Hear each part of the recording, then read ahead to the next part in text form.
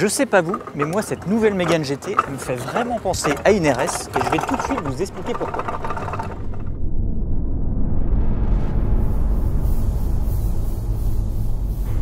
Si l'ancienne Mégane GT n'avait qu'un minuscule logo Byronosport à l'arrière, la nouvelle l'écrit en toutes lettres partout.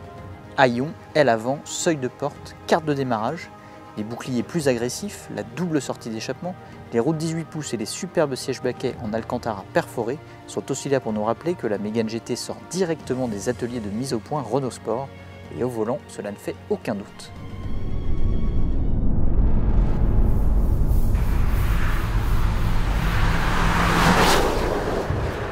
Alors c'est une grande première dans la catégorie, la Mégane GT embarque de série le châssis Fort Control avec roue arrière directrice.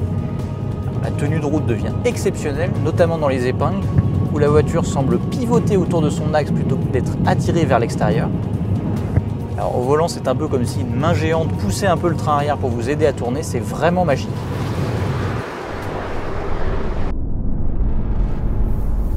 premier gadget de la Mégane GT, c'est la fonction rétrogradage automatique grâce à sa boîte robotisée à 7 rapports. Alors pour que ça fonctionne, il faut se mettre en mode de conduite sport, en position boîte manuelle. Alors quand on veut rentrer plusieurs rapports avant un virage, on n'est pas obligé de cliquer plusieurs fois sur la palette moins.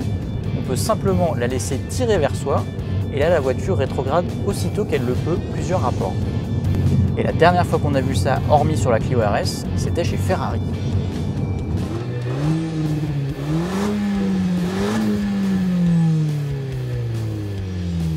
Le gadget le plus sport de la Mégane GT, c'est bien sûr son launch control qui vous aide à faire des démarrages canons.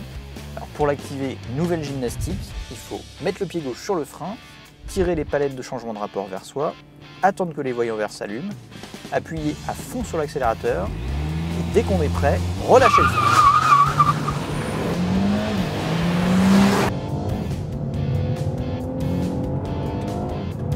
C'est un gadget aussi amusant qu'inutile qui permet surtout à la Mégane GT d'annoncer un 0 à 100 en 7 secondes 1. c'est une valeur correcte mais tout de même pas au niveau d'une Mégane RS en 6 secondes.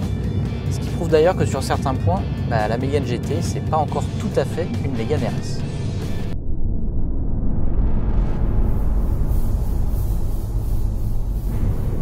le moteur de la Mégane GT il est emprunté à la petite sœur Clio RS, c'est un 1.6 turbo de 205 chevaux alors c'est pas qu'il est paresseux, il monte d'ailleurs une assez bonne vigueur euh, au-delà des 4000 tours. Par contre à bas régime il manque un peu de coffre, ça c'est assez inhabituel pour un moteur turbo. L'autre défaut provient de la sonorité qui est assez quelconque en mode normal et artificielle en mode sport, puisqu'en mode sport c'est en fait un faux bruit de moteur qui est envoyé via les haut-parleurs. C'est pas très sport tout ça. La grande différence de la Mégane GT par rapport à l'actuelle Mégane RS, c'est sa polyvalence au quotidien. Alors on peut citer la boîte robotisée, idéale en ville, les modes de conduite, on peut passer en mode confort, on peut aussi parler de l'espace intérieur, plus généreux qu'auparavant. C'est autant de qualités qui rendent la Mégane GT vraiment plus facile à vivre au quotidien qu'une Mégane RS.